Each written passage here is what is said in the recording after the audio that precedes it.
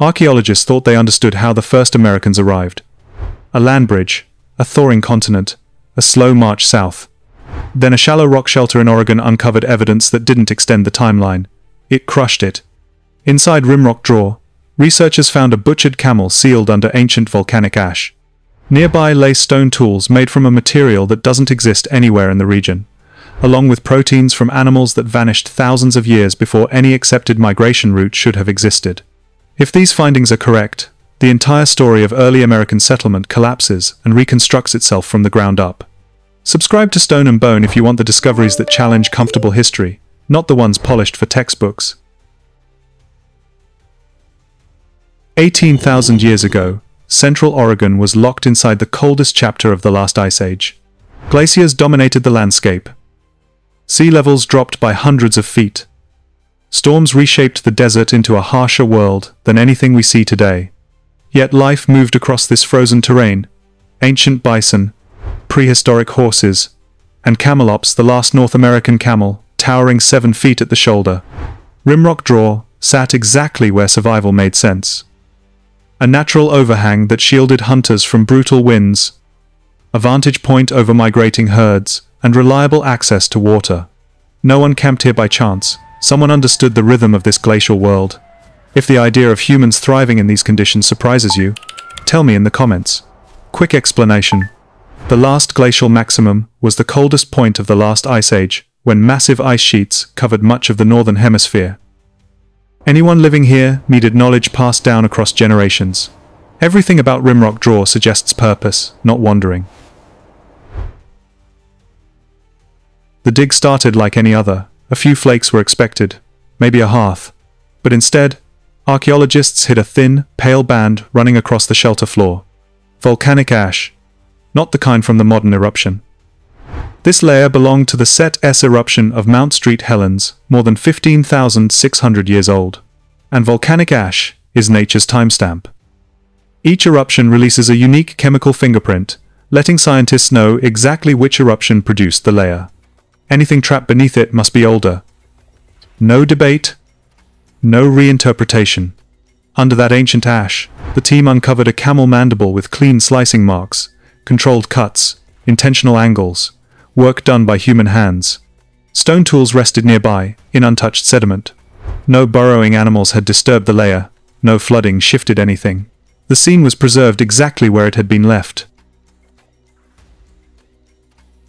Camelops once roamed North America, but vanished by the end of the Pleistocene. Finding its bones isn't unusual. Finding proof that humans butchered one 18,000 years ago changes everything. The jawbone showed clear signs of disarticulation and meat removal. Impact marks indicated where limbs were separated. This wasn't scavenging. It was systematic processing. To determine age, researchers dated the camel's tooth enamel. Enamel is incredibly dense and holds carbon well, making it one of the most reliable materials for radiocarbon testing. Quick explanation. Before present uses the year 1950 as the baseline, because nuclear testing after that point changed global carbon levels. So 18,250 BP means 18,250 years before 1950. The result landed at roughly 18,250 years. That single number detonates the traditional model of American migration, the ice-free corridor, the supposed entry route, was still sealed by massive glaciers at that time.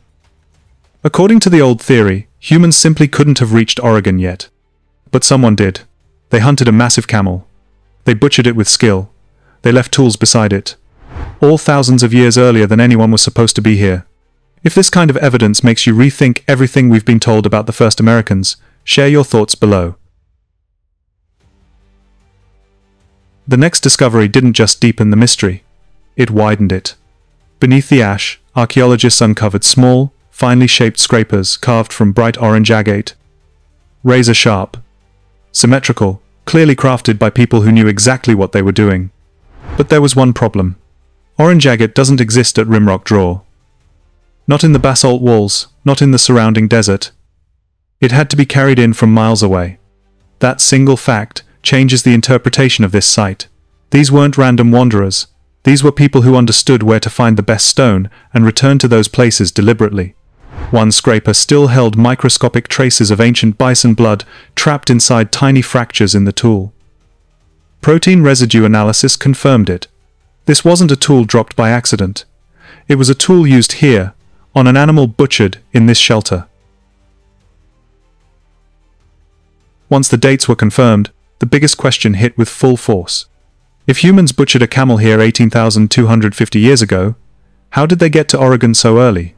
The traditional story claims people entered through an interior ice-free corridor that opened between two massive glaciers. But at that time, the corridor wasn't just difficult. It was sealed shut under hundreds of meters of ice. So researchers turned their attention west. During the last ice age, sea levels were more than 400 feet lower, exposing vast stretches of coastline.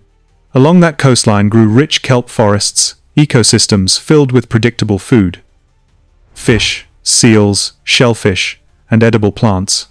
Archaeologists call this path the Kelp Highway, a migration route traveled by people using small boats long before the continental interior thawed.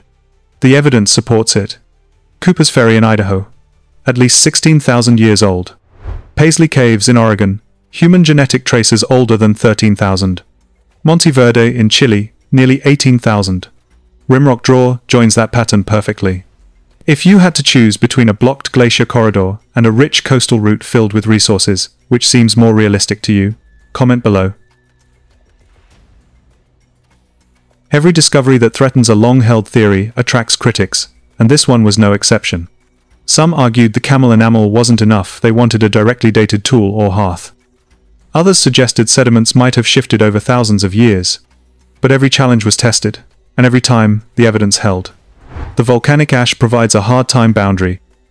Its chemical fingerprint matches the Mount St. Helens Set S eruption. The dirt layers show no bioturbation, no burrows, no root channels, no water disturbance. The artifacts and bones lie exactly where they were originally deposited.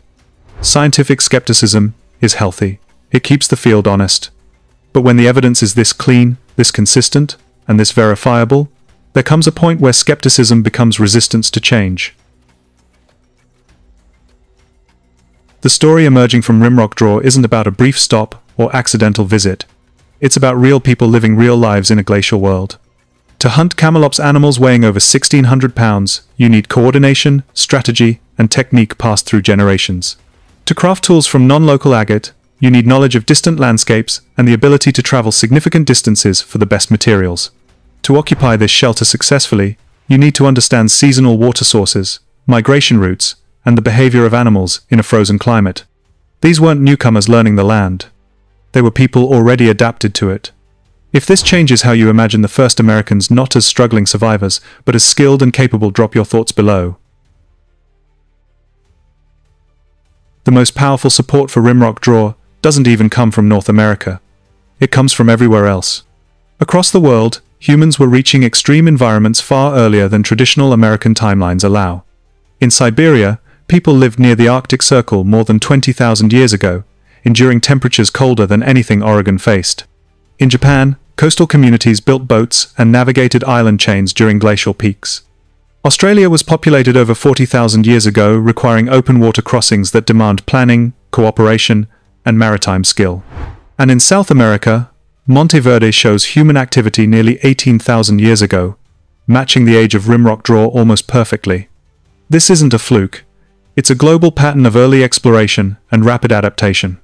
The only outlier was the old North American model, and Rimrock Draw removes that last holdout. The most unsettling possibility isn't what archaeologists have already uncovered. It's what remains untouched. The deepest artifacts in the shelter lie below the dated camel remains. And in archaeology, depth means age. If the camel jaw already dates to 18,250 years, then anything beneath it must be older. How much older? That's the question no one can answer yet. There could be hearths buried deeper in the sediment. There could be tools carrying proteins from even earlier hunts.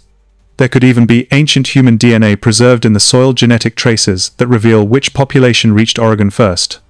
Luminescence dating, residue analysis, and sediment DNA testing could push the timeline back again and again. Every inch the archaeologists dig risks, reshaping not just American history, but the story of human migration across the planet. If you think the deepest layers might hold evidence older than 20,000 years, let me know what date you think we might hit. Put the discoveries together, and the conclusion becomes impossible to avoid. Humans were in Oregon at least 18,000 years ago. They weren't trapped behind glaciers. They weren't waiting for ice corridors to open. They were already hunting, moving, settling, and adapting to a world most of us couldn't survive a day in. The Clovis first narrative collapses under this weight. The coastal route becomes not just plausible, but necessary. And the first Americans transform from late arrivals to pioneers who mastered an unforgiving landscape thousands of years before experts believed anyone was here. This isn't one discovery rewriting history. It's one discovery aligning perfectly with global evidence that was already pointing in the same direction. If you want more stories that push archaeology forward instead of holding it back, subscribe to Stone and Bone.